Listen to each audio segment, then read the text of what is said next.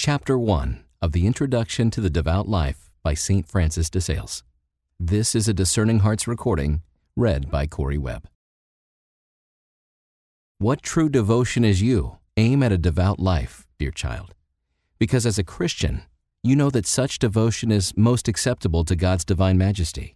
But seeing that the small errors people are wont to commit in the beginning of any undertaking are apt to wax greater as they advance, and to become irreparable at last, it is most important that you should thoroughly understand wherein lies the grace of true devotion. And that because while there undoubtedly is such a true devotion, there are also many spurious and idle semblances thereof. And unless you know which is real, you may mistake and waste your energy in pursuing an empty, profitless shadow. Arelius was wont to paint all his pictures with the features and expression of the women he loved. And even so, we all color devotion according to our own likings and dispositions. One man sets great value on fasting and believes himself to be leading a very devout life, so long as he fasts rigorously, although the while his heart is full of bitterness. And while he will not moisten his lips with wine, perhaps not even with water, in his great abstinence he does not scruple to steep them in his neighbor's blood through slander and detraction. Another man reckons himself a devout because he repeats many prayers daily, although at the same time he does not refrain from all manner of angry, irritating, conceited, or insulting speeches among his family and neighbors.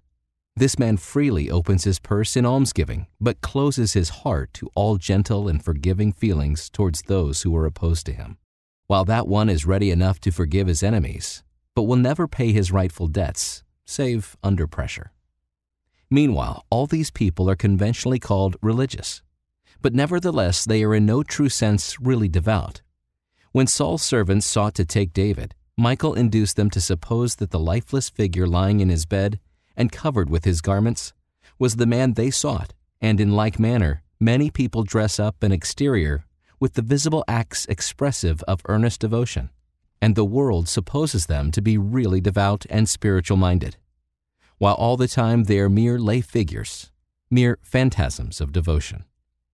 But, in fact, all true and living devotion presupposes the love of God, and indeed it is neither more nor less than a very real love of God. For that love one, while shining on the soul we call grace, which makes us acceptable to His divine majesty, when it strengthens us to do well, it is called charity. But when it attains its fullest perfection, in which it not only leads us to do well, but to act carefully, diligently, and promptly, then it is called devotion. The ostrich never flies. The hen rises with difficulty and achieves but a brief and rare flight. But the eagle, the dove, and the swallow are continually on the wing and soar high. Even so, sinners do not rise towards God, for all their movements are earthly and earthbound. Well meaning people who have not as yet attained a true devotion attempt a manner of flight by means of their good actions, but rarely, slowly and heavily, while really devout men rise up to God frequently and with a swift and soaring wing.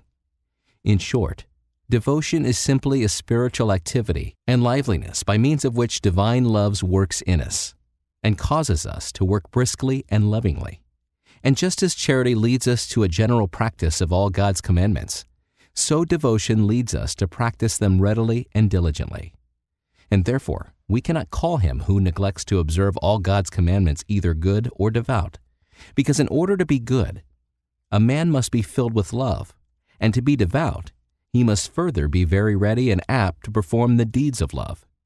And for as much as devotion consists in a high degree of real love, it not only makes us ready, active, and diligent in following all God's commandments, but it also excites us to be ready and loving in performing as many good works as possible, even such as are not enjoined upon us, but are only matters of counsel or inspiration. Even as a man just recovering from illness walks only so far as he's obliged to go, with a slow and weary step, so the converted sinner journeys along as far as God commands him but slowly and wearily until he attains a true spirit of devotion. And then, like a sound man, he not only gets along, but he runs and leaps in the way of God's commands, and hastens gladly along the paths of heavenly counsels and inspirations. The difference between love and devotion is just that which exists between fire and flame. Love being a spiritual fire, which becomes devotion when it is fanned into a flame. And what devotion adds to the fire of love is that flame which makes it eager, energetic, and diligent, not merely in obeying God's commandments, but in fulfilling His divine counsels and inspirations.